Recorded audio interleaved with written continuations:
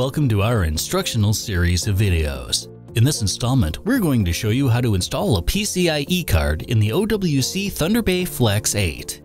In this particular video, we'll be installing an Ethernet card, but the instructions are the same for any listed compatible card. We've already gathered our materials and are working on a soft static-free surface. We're now ready to begin. The first step is to lay the enclosure on its side with the front facing your right. To remove the side panel, we first need to remove these four hex screws using the included Allen wrench.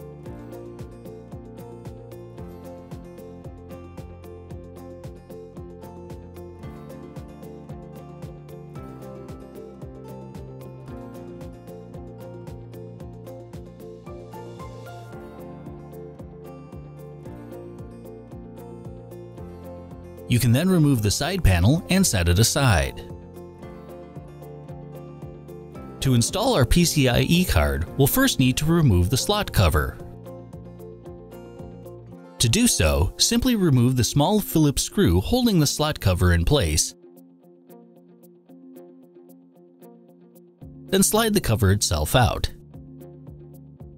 In the PCIe slot, there's a pin near the front. This corresponds with a notch near the front of the card's connector itself. Many cards have connectors that are shorter than the slot, so this pin and notch is a good way to make sure the card is installed properly. Slide the card into the slot until it's completely seated.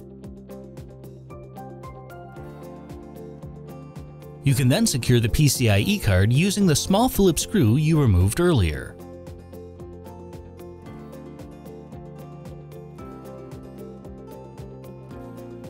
Set the side panel back into place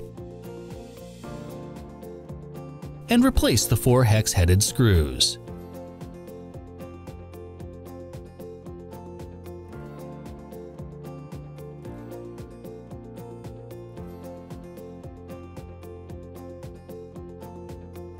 You can now attach the ThunderBay 8 Flex to your computer and install any drivers necessary for your card.